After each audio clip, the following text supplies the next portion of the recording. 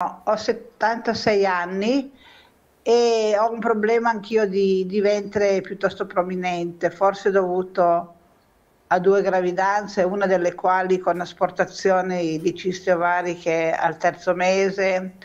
Ho una corporatura piuttosto longilinea, non grassa, ma questa pancia è veramente, veramente eccessiva. Molti, se non fosse perché vedono che non ho più l'età, mi chiedono se aspetto un bambino. Mi crea molto disagio e fastidio. È possibile fare qualcosa?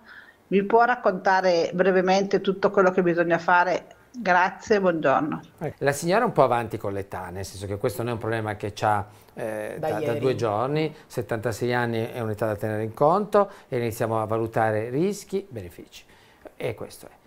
Prima cosa da fare, ecografia della parete addominale, che è diversa dall'ecografia dell'addome.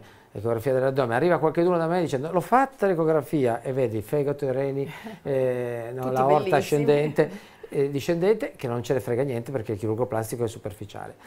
Secondo punto di questa vicenda, quindi è l'ecografia della parete addominale. Secondo punto è la visita dal chirurgo plastico per valutare questa cosa. In realtà in alcuni casi di gonfiore torna, viene, viene molto spesso in aiuto il gastroenterologo perché proprio l'altro giorno parlavo col mio collega gastroenterologo dicendo che questi gonfiori addominali sono, sono dovuti alla flora batterica sì. eh, della... E in eh, molta parte può, può essere vero? Cioè possono essere davvero... Lui, appunto, pazienti, abbiamo parlato contestualmente, racconto un caso mio personale di una signora che ha una storia sua che è una storia anche di vizi, tra virgolette, eh, e cose di questo genere, quindi è una signora un po' particolare, comunque ha le gambettine strettine, mhm. strettine, mm -hmm. abbiamo già fatto riposizione, non ho mai cercato interventi grandi, abbiamo sistemato, quindi lei non ha della ciccia del, del mm -hmm. tessuto adiposo, ma ha proprio questa pancia che butta in fuori e eh, come da contenuto addominale importante, sì. si chiama grasso viscerale. E allora in questo caso non posso intervenire io, no? E quindi sostanzialmente il gastroenterologo dice effettivamente possiamo dare dei farmaci, dei, dei mm, fermenti comunque a, eh, che possono aiutare a migliorare questa flora batterica sgonfiando un po' la paziente. La nutrizionista può essere utile perché anche lì i cibi che gonfiano, no? non so, faccio un esempio, la pizza, no? che dire, a me piace tantissimo, eh, però sì. ogni tanto mangi la pizza e gonfi un po' di più l'addome, durerà mm, 3-4 sì. ore per carità, però questo è una cosa che alcuni pazienti sono che molto succede, attenti sì. a questa cosa. No?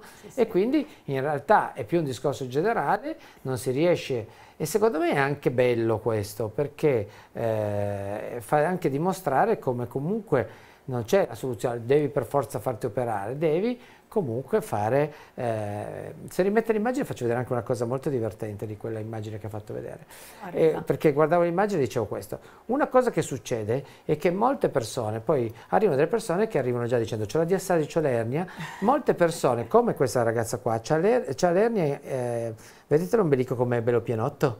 Sì. Ok, quella è un'ernia ombelicale, Okay? E quindi sostanzialmente la signora manco lo sa di avere questa ernietta ombelicale. no? E quindi, come è venuta la signora di ieri che mi chiedeva di migliorare, di qualche giorno fa che mi chiedeva di migliorare l'addome, e gli ho detto, ma lei lo sa che è un'ernia ombelicale.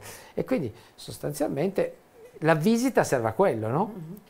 E se vogliamo dire una cosa anche in generale, che qualcuno di nuovo da casa io me lo ricordo da bambino che mi aveva colpito questa cosa, no? che quando c'erano tutta la mia famiglia, qualcuno andava dal dottore e diceva sono andato dal dottore, no? dice in piemontese, sì. no? però dice non mi ha neanche visitato, sì. perché il visitare 30-40 anni fa era mettere le mani addosso. Sì, okay? certo. A oggi questa cosa è cambiata, perché molto spesso uno non gli vengono messe le mani addosso, e però è una visita. Capito? Quindi capito il cambiamento che c'è. Invece eh, il concetto della visita è proprio questo, una valutazione globale di, di tutta la, de, in questo momento, la visita moderna sì. è questa qua. Magari alcune volte non, ci, non, non mettiamo le mani addosso, però ah, diamo l'attenzione al paziente per valutare tutta una serie di cose che possono essere eh, importanti per l'addome della signora che ha mandato il vocale.